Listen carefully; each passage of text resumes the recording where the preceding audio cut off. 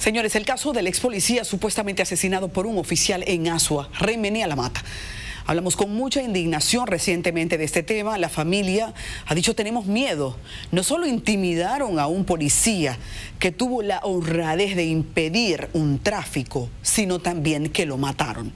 Lo amenazaron por haber denunciado lo que a ellos les traería una boronita. Ahora, ha sido trasladado el coronel Ronald Félix Batista y también Trinidad Dotel, quienes estaban a cargo de la comandancia, uno en la preventiva y otro como encargado del departamento del DICRIN. Marcos Lorenzo nos cuenta. Eduardo Mingetti, quien fuera asesinado el pasado mes de enero y quien supuestamente colaboraba con la jefatura policial de Asua, informó sobre el asalto a una patana cargada de azúcar donde presuntamente estaba involucrado un oficial de nombre Trinidad. Situación esta, según la familia, fue la muerte a Mingetti. Ratificando que ese caballero, el coronel Trinidad y el mayor Baní, tienen que ir a, la justicia, tienen que pagar por lo que hicieron.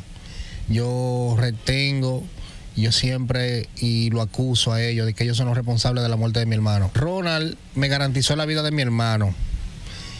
Y miren hoy dónde está mi hermano. E incluso él me dijo a mí, en mi cara, que para matar a mi hermano había que matarlo a él. Y a mi hermano en ningún momento se protegió. Por eso hoy está donde está, muerto. Este caso, el cual recorrió toda la provincia de Asua, ha causado gran alarma y al mismo tiempo hablan sobre el auge de la delincuencia en esta provincia. La criminalidad en la provincia de Asua está en su peor momento, tanto así que es difícil que no haya una familia que no haya sido víctima de un atraco, de un robo. A eso que venga el nuevo el coronel, que se integre a la población, que haga el trabajo contra la delincuencia y que respeten a la población. Nosotros esperamos que Asua le dé una buena acogida.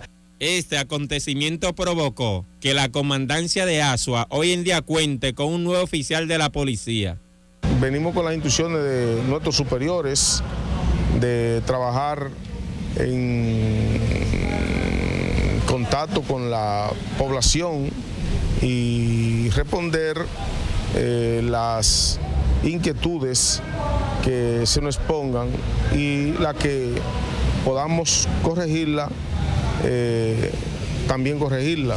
Desde la provincia de Asua, para CDN, Marcos Lorenzo.